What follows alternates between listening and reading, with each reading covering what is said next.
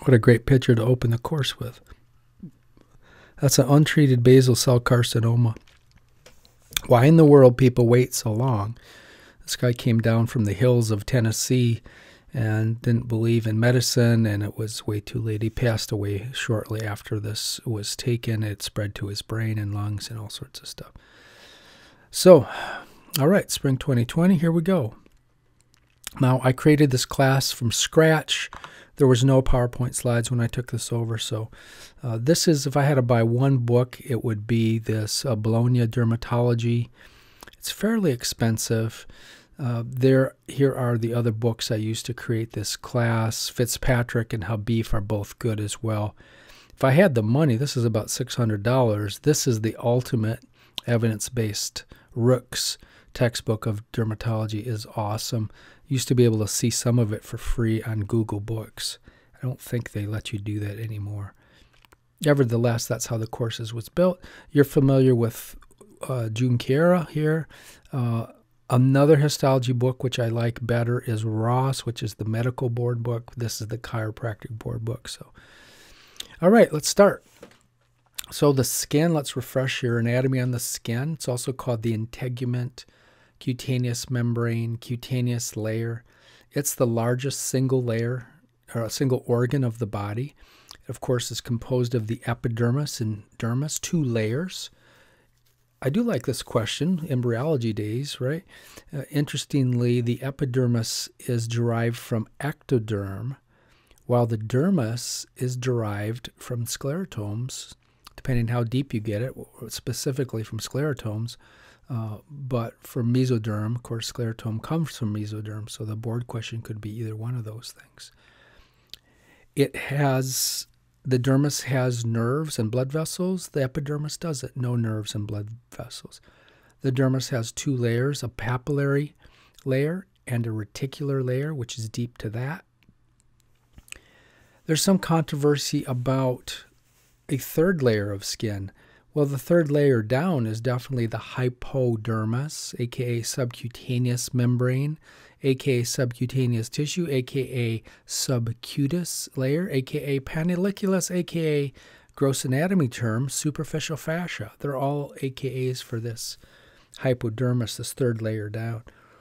Um, it is a loose connective tissue. It contains fat. It's underneath the dermis. Uh, it binds very loosely to the dermis. You can pull it apart when you're doing cadavers. It pulls apart really easy there's no interdigitation system like is between the epidermis and dermis. There are no hemidesmosomes here. Now, some authors uh, include the hypodermis as the third layer of skin. Many authors do, but uh, Junqueira, which is a Board of Chiropractic Examiner reference book, that's where questions will come from. It says it's not part of the skin.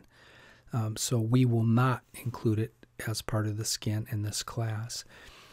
And here you're familiar with the epidermis is here on the top.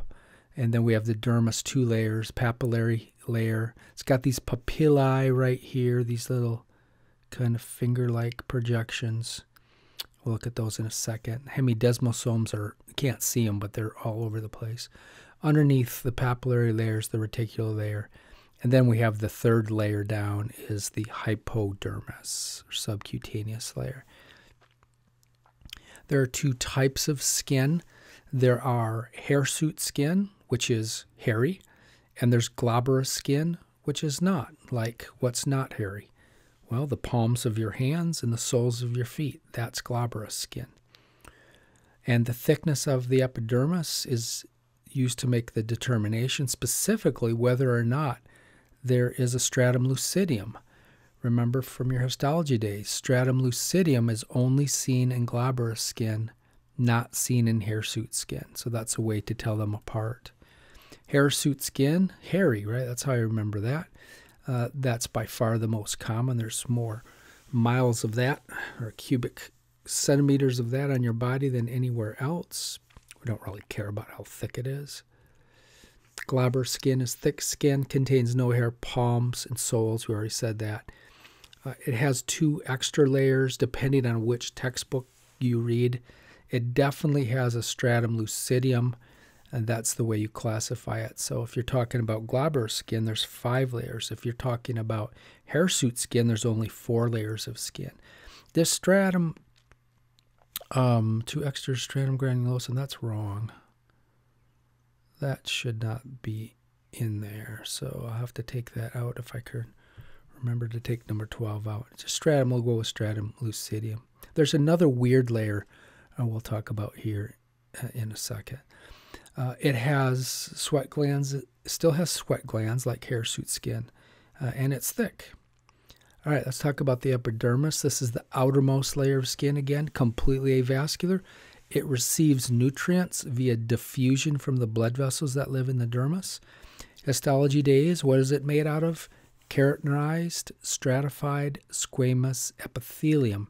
Stratified means there's more than one layer. So there's like four to six layers of really flat cells, bags of keratin basically, uh, with wax kind of surrounding them, waxy layer. And all the organelles are dead by this by this point. The epidermis is anchored very firmly to the epidermis, specifically to the papillary layer of the dermis. Thank you very much. Um, don't show this message again. Why that comes up sometimes and other not others, I don't know. Uh, but yep, so it's anchored down into the uh, what was I saying? So it's anchored firmly into the papillary of the dermis uh, via some kind of macroscopic connections dermal papillae, which come from the papillary layer, meet little indentations called epidermal pegs or epidermal re, uh, ridges or reet pegs or reet ridges. Those are all AKAs for that. And then on the dermal papillae, you have these little hemidesmosomes, which are really what do the anchoring. We're actually going to look at those in a minute. So if you're able, I mean, it's almost impossible to rip the epidermis from the dermis, but if you could, you would get this little setup here. And you can see we have some macroscopic little epidermal pegs that fit in between these dermal papillae. The dermal papillae fit right into there, and there's hemidesmosomes which tie those down. And we need to look at these hemidesmosomes. So they're kind of like a rivet. Everybody knows what a rivet looks like this, and it's got a rivet shaft, uh, and you you put it like a piece of metal here and another piece of metal here. You have holes in the metal, and then you smash this flat, and it holds the metal together. So it's kind of a hemidesmosome and a desmosome, for that matter, is kind of like a rivet. Uh, only thing is, there's many shafts coming down into the dermis. Right? Those are made of laminin 5. This rivet head is called a plaque. And this whole thing right here, this is a basal cell in the stratum basale. All right, that's where this is all cytosol here. And remember, there's a cytoskeleton, which is made up of keratin filaments. Keratin filaments combine together to, fo to form tonofilaments. And we'll look at what holds those together in a second. But the key that I want you to actually know is a protein here, and there's actually uh, erbin and plectin. We won't get that deep, but I want you to know this one right here, BP230. BP230 are these blue things. BP230 is what holds the cytoskeleton, the keratin filaments, into the rivet head or into the plaque. And why in the world would I want you to make that? And I know, oh my God, Dr. Gillard, oh, this stuff. Why do we have to know this stuff? We're going to be chiropractors. Gross picture warning. Well, who cares about it? This baby and the mom probably care. The mom probably cares about why the baby looks like this and is very high. This is severely, this condition is really severely affecting this child. And the child could die from this. This is an autoimmune attack against one thing in the body, and that's BP230. And of course, it's got a name. Uh, that is called bullous pemphigoid. It's the most common autoimmune blistering disease of the skin, period. There's other blistering diseases This is the most common, so let's fall down the rabbit hole and talk about it. So we get an autoimmune attack against the BP230. We can't see the pretty blue beads anymore because the body is attacking it. And we have an inflammation and exudate. And these struts break loose, and now there's nothing holding the epidermis to the dermis, and swelling fills up, and you get these giant blisters that are secondary to the inflammatory exudate from this autoimmune attack. And that is the story with that.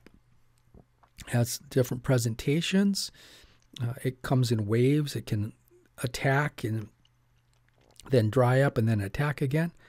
Um, this is what it looks like.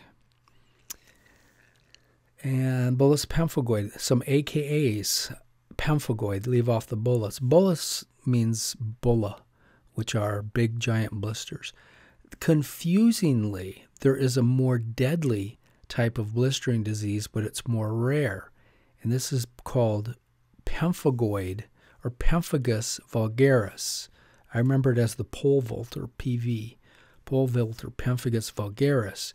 This one is deadly. It's more rare though, so I actually took the slides out because I, ne- I mean, I could spend a four-hour a week class talking about dermatology. There's so many skin conditions. I have so many. I have enough for probably three class, three quarters right in a row of slides.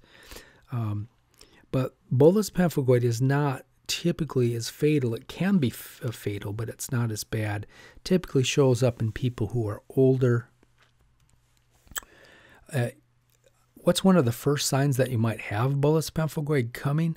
It usually starts out as urticaria or hives. So this patient has hives, and for six months, year, a year and a half, two years, that's all that presents as hives. They come and they stay for a long time, and then they go away, and then pretty soon they start getting lesions and the dermatologist is able to figure out okay i mean you can do blood tests and look for the antibody for it um, but it typically starts out as hives. There's usually a long delay, up to usually about 12 months if you have good medical care to figure out what the heck is causing these things. Uh, most common site of infection is the abdomen and the groin, the flexor surfaces, the arms, the legs. Another concept is uh, Hansen sign and Nikolsky sign. Uh, so these patients are usually Hansen sign negative. So you probably don't know what Hansen sign is. So if you have a blister and you push your thumb into the blister, not like crazy hard to, to pop it, but push it in pretty firmly and watch the edges of the blister. The blister should not grow in diameter before your eyes. It shouldn't get bigger. Uh, if it does, that's a positive Hansen sign. So people with bullous pemphigoid, they usually don't. You push on the blister and nothing happens around the edges. It doesn't get bigger. It might pop, but it doesn't get bigger. Uh, people with pemphigus vulgaris, because that's an autoimmune attack against desmosomes. Okay, bullous pemphigoid is against hemidesmosomes. Pemphigus, the pole vault or PV, is against desmosomes, and they are ubiquitous. Those things are everywhere. So it's a much more serious condition. And they do have a positive Hansen sign. Nikolsky sign in bullous pemphigoid is also negative. Uh, what is Nikolsky sign? Instead of pushing on the blister, right next to the blister, you start rubbing your finger back and forth and back and forth and see and do like a friction massage uh, next to the blister. And if you do that in someone with bullous pemphigoid, nothing will happen. If you do that in the pole vaulter, the pemphigus vulgaris, the blister will actually migrate into the area that you're rubbing. You can make the blister bigger by doing that. That would be a positive Nikolsky sign. Got it? I think that's new stuff for you. Uh, so positive Hansen and Nikolsky signs are typically seen in pemphigus vulgaris, right? And that's a autoimmune attack against desmosomes. A negative Hansen's and Nikolsky sign is typically seen in bullous pemphigoid. Or if someone just has urticaria and they have a big bulla and you do that, that's going to be negative Hansen and Nikolsky sign as well. So it's not just, it's any type of bulla. You can try that and it better not get any bigger. If it does, that's a problem. some fun facts. Uh, you can use immunofluorescence to make the diagnosis. In children, the first attacks usually go away, but they come back and they come again and they come back. Uh, it's it is a permanent disease. You don't get rid of this uh, disease typically. Uh, the treatment is first as geez, probably every single dermatological condition condition I'm going to talk about. The first treatment is corticosteroids. And you can start with an ointment and you can rub it on the lesion and see if that cuts the inflammation. If that doesn't work, you can go with systemic like a prednisone. Uh, you might need an antibiotic because they can get infected. And the people who die usually get septicemia from an infection. So you have to be careful.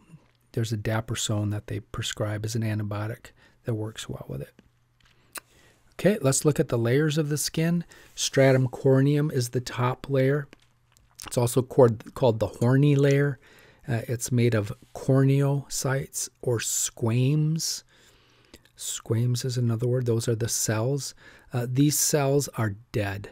They all the nuclei is gone. The mitochondria is gone. The ribosomes.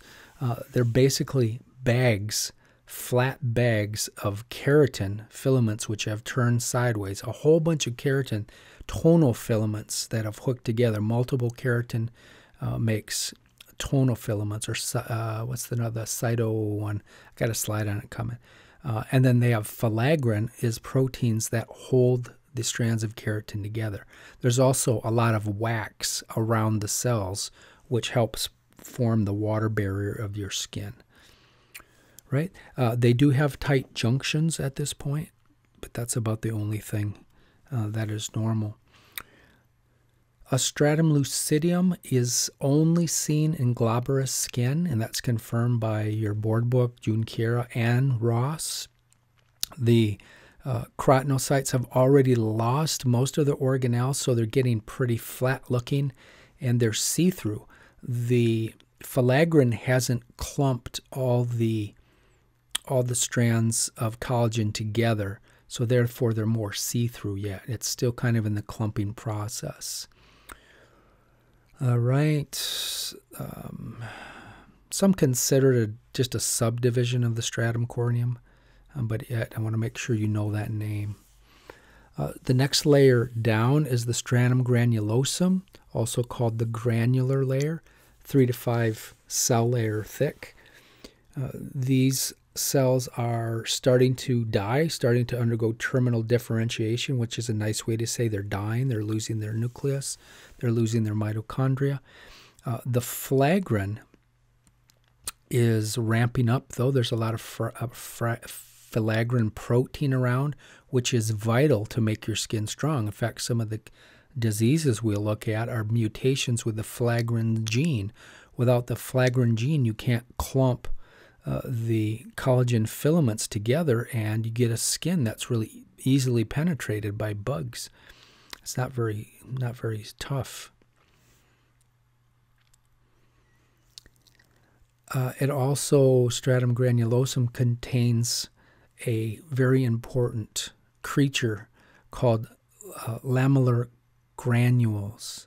Lamellar granules uh, these are what make the whip, the lipid layer that is secreted and it surrounds the cell. It's almost like another cell membrane around these uh, stratum granulosum cells, and it's waterproof. So that's that's you hear about the barrier function of the skin. It's all about the lipids that are created by these lamellar granules, and it's all about filaggrin having enough filaggrin to clump the collagen fibers to make it a strong barrier. Right, here's just a little cartoon. Uh, you can see there's a strand of keratin there. Here's another strand of keratin, and they are hooked together by these filaggrin molecules. You could call these tonofilament then. This is a tonofilament, which is just multiple uh, keratin molecules hooked together. There's other ones. This lipid layer has been secreted out here the lipid is bound to the cell by this uh, involucrin. It's another protein that's created. We're getting a little deep into this stuff, though, so we don't need to go that deep. Okay, the next layer down is a little confusing. The stratum spinosum. This is the spinous or prickle cell layer made of spiny or prickle cells, they're called. This is normally the thickest.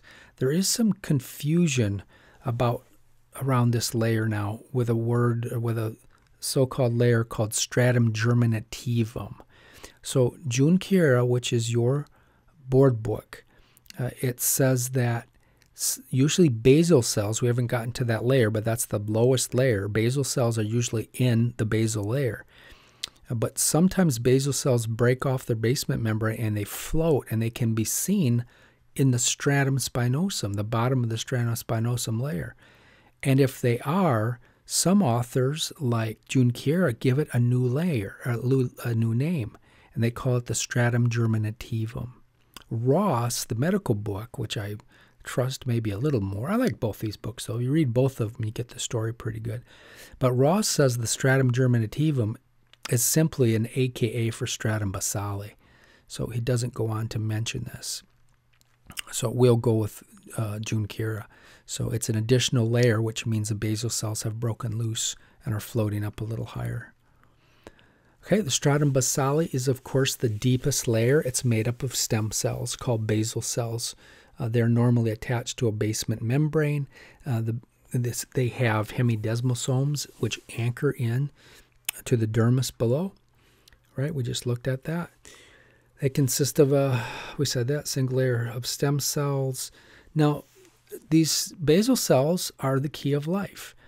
All the other cells, the, spi- the cells, the spiny cells and the granular cells uh, and the squames, they're all the same thing. They're, they were a basal cell that split via mitosis. Uh, when a basal cell splits via mitosis, it recreates itself, right? Because that destroys the cell. It's splitting in half, recreates itself, and it creates a new cell called a keratinocyte. And then the process happens again. Uh, so here's, oh God, here we go, my drawing ability. Um, so it splits, it creates a new basal cell, and it, now it created a new cell called a keratinocyte. It's going to be in the spiny layer here in a second. But the process happens again and it gets pushed up. And it happens again and it gets pushed up. And see, these cells are pushed up and up and up. So all of the cells that we, the cell layers we talk about, they all were once a basal cell. And they have just underwent cell differentiation. So here's a cartoon. Stratum basale is all basal cells here. Uh, we got a Langerhans cell here, is an immunosurveillance cell. It's phagocytic, and uh, we'll look at that. There's a Merkel tactile, looks like uh, set up there for touch. Anyway, stratum spinosum and stratum granulosum. This is globular skin, right? Stratum lucidium. And then there's the stratum corneum. See how they get flat? See how they've lost their organelles? You guys know that. The intermediate filaments versus tonal filaments, I kind of talked about this. Uh, as the keratinocytes differentiate and move up, they get filled with more and more intermediate filaments. You could call them keratin filaments because they're made of keratin. And those eventually they start getting joined together into really thick, double layered and triple and quadrupled and form cable like structures, uh, which are called tonofilaments, or cytokeratins. Those are kind of AKAs for each other. That was always confusing when I went through histology. Uh, meet the cells. So we have uh, the epidermis is made up of keratinocytes mainly. Uh, the, that's the most common type. It's not the only type of cell. We just looked at a Langerhans cell, so there are more. But keratinocytes are by far uh, by far the most common keratinocytes. Uh, and yeah, who are the keratinocytes? What are the corneocytes, the granulocytes, the prickle cells, the prickly, spiny cells? That's just AKAs. They're just in different stages of maturation. There's three other less abundant cell types. There's melanocytes. We need to talk about those guys in a second. We'll talk about them. They're, they, a little little octopus little octopi. Langerhans are the immune cells. They're, they're sentinel cells. They're phagocytic. Uh, they can gobble up an antigen and present it, antigen presenting cells. Uh, the Merkel cells uh, are for touch. They're sensory receptors. I'm not going to get. I'm sure Dr. Doe burn that into your brains. Melanocytes I do like. That's my domain because if it becomes mutated and develop and starts becoming immortal and divides too rapidly, that's melanoma. That's the most deadly type of skin cancer. So melanocytes live usually in the stratum basale normally. Its job is to inject neighboring cells with melanin. You can see its little octopus tentacles here are injecting all these cells and this melanin will form a cap and protect the cell from UV radiation from Mr. Sun up here. Amazing drawing. Um, yeah. The, what's the greatest irony about these these selfish or selfishlessness melanocytes? Why the committee did this, I don't know why. There is no protection over the melanocyte. He has no, he doesn't inject himself. So therefore, they're susceptible to, to UV radiation. And unfortunately, UVA radiation can flip the gene on here that's not supposed to be, and that turns off apoptosis, and this cell becomes immortal and mutated, and it doesn't die, and that's cancer, and that's malignant melanoma. So I don't know what the committee was thinking on that one. We're going to burn this picture into your brain. If you ever see a lesion like this on the skin, it's going to be bigger than the eraser on a pencil, number two pencil. at six millimeters. Uh, it's going to be variegated. See the different colors. It's going to have irregular border, borders. You can't fold it in half. This is deadly, deadly cancer. The trouble is seborrheic keratosis and some type of moles, they can look just like it. And we'll try to differentiate those as we go through the course. How about that one? Nope, this one's actually seborrheic keratosis. But as far as you're concerned, I mean, if, if it breaks the ABCs, I don't want to get into that now, but we'll get into the ABCs. If it breaks the ABCs, it's your duty, if you don't want to get sued, that is, it, it's your duty to refer this out. Okay, um, that looks like melanoma, but it's not. These little bubbles, melanoma doesn't have these little bubbles typically. That's the giveaway there for that one.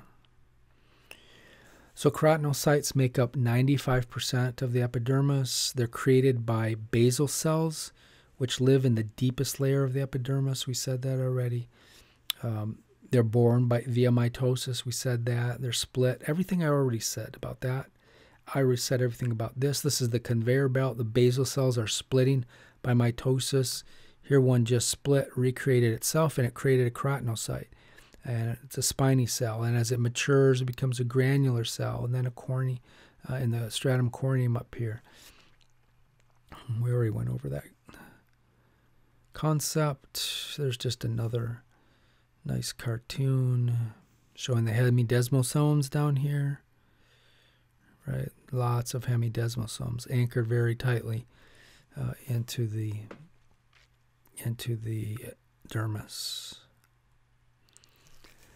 Okay, we already said this as well too. So they flatten as they go up. They become filled with more and more keratin. You could say that these cells are uh, undergo keratinization as they go up.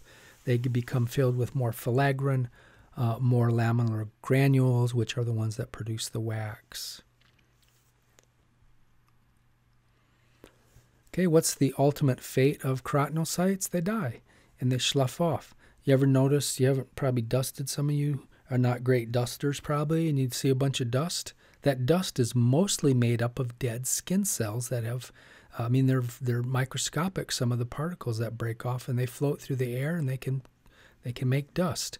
They can also get into your mattress. They can go right through your sheets and right through your mattress and they can accumulate uh, in your mattress and there is a creature that will clean these up for you if you don't want to dust.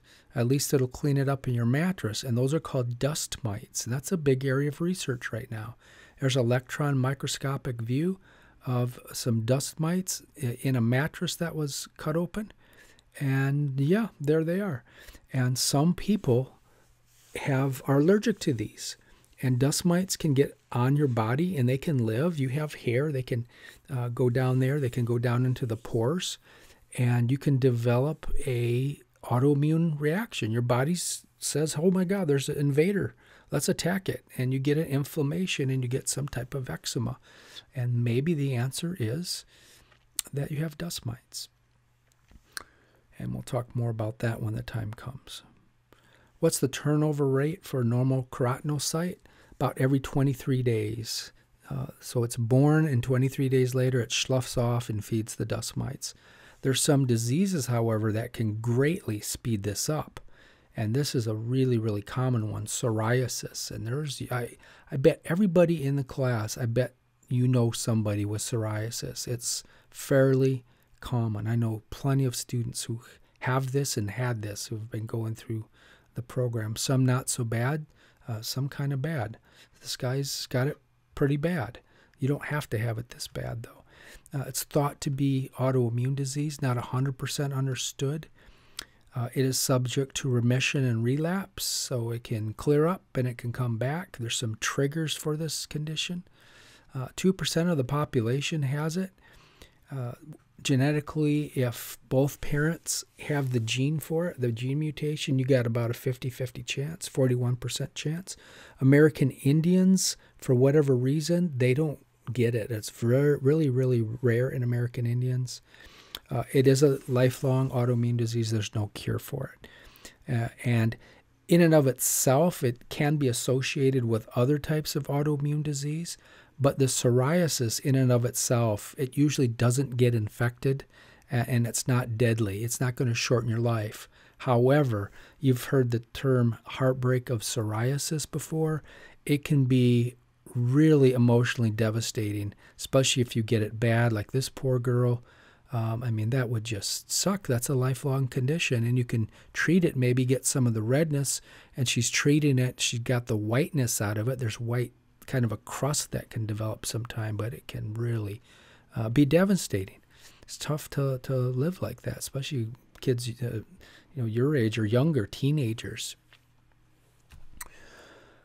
Um, what else? So some of the triggers, environmental, a bacterial infection can trigger an outbreak. Stress can trigger an outbreak. Trauma, drugs, uh, emotional stress. About 40% of the adults are affected by a, a, a strong bout of emotion will bring, bring on an attack. And uh, it, it sometimes pops up in kids after a streptococcal pharyngitis, after just kind of sore throat. It can pop up for the first time. Um, it is an out of control inflammation process. We said that. It can attack the, we'll look at psoriatic arthritis somewhere in this course, but it can definitely get into about 17, 17% of the people with psoriasis uh, have psoriatic arthritis on top of it, and that's a devastating arthritis. And the treatment is more heavy duty tumor necrosis, uh, tumor necrosis factor alpha blocking agents. The big one, probably most effective, is the methotrexate. Been around for quite a while now. There's some side effects, but um, what are you going to do if you look like that? You got to try to do something, right? uh, heartbreak of psoriasis, really emotional. We we talked about that how how horrible that is. Uh, the lesions typically are red. Uh, they're they're papules, or they're not. They can start out as papules, uh, but they usually coalesce into something called a plaque. And we'll talk about the language of dermatology, or you can watch it if you want to get ahead. It's on YouTube now. You can watch it from last quarter. I'm keeping the slides basically the same uh, because I'm not sure which. I prefer you watch these new slides, but if something goes wrong with my internet or the school's internet or the program, there's too many variables. I want to make sure you uh, you're covered here. All right. So let's look at a classic psoriatic lesion right here. Um, this is a plaque that's got very strong borders. It's not a lichenification. People get lichenifications and plaques mixed up. And if it's a more mature lesion, you typically have some white, silver white color in it. Uh, here's one, uh, another one that's maybe not as mature, or maybe it's just been treated and these kind of silver's coming out of it. Here's some more. Here's a new one popping up right now. And here's a pretty mature one there. Okay, well, that's enough for today. So, I hope you enjoyed it, and we will see you in the next video.